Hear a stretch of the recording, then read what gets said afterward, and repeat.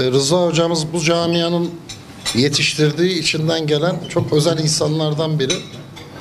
E, keşke 2-3 maç önce e, Şenol Hoca'nın bıraktığı gün göreve başlasaydı. E, çok daha fazla yol alırdık. Tabi Rıza Hoca gelene kadar ben de e, hem yurt içinden hem yurt dışından bir hoca arayışına girmiştim.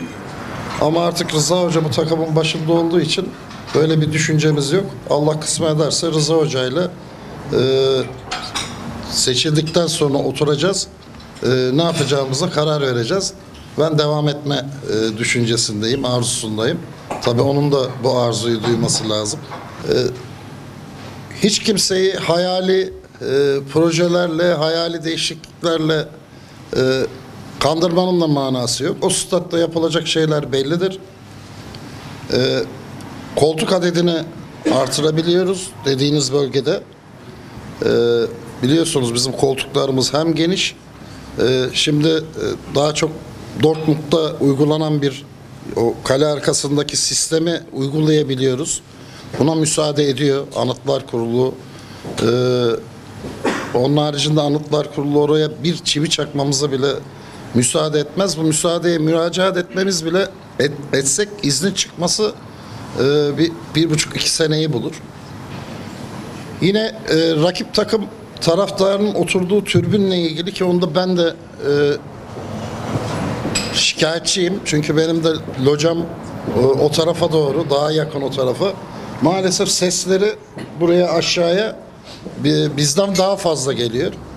Onun çözümü belli. O zaman da yine e, Bünyamin Bey ile stadın mimari sorumlusu Bünyamin Bey ile oturduğumuzda e, rakip takım misafir takım e, türbünlerini ikiye bölebiliyoruz. O e, en azından o sesi de ikiye bölmüş olacağız. Bunların haricinde stada tek bir çivi çakamaz. Ne ben çakabilirim ne de bir başkası çakabilir.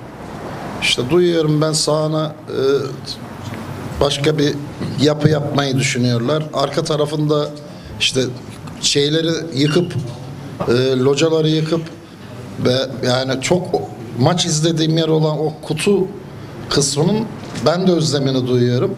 Ama bazı bazı yapılacak şeyler var. Ee, yapılmayacak şeylerle de hiç camiayı oyalamanın, hayal kurdurmanın da hiç gereği yok. Stat'taki durumumuz da budur. Allah kısmet ederse geldiğimizde e, açık türbündeki koltuk düzenini yapacağız. Stadın kapasitesi de 52 bin olacak.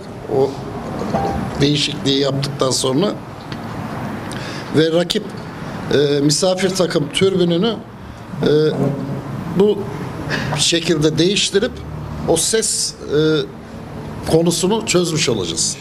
Teşekkür ederim. Şimdi biz bu e, mevcut futbol takımıyla bu sezonu bitireceğiz arkadaşlar.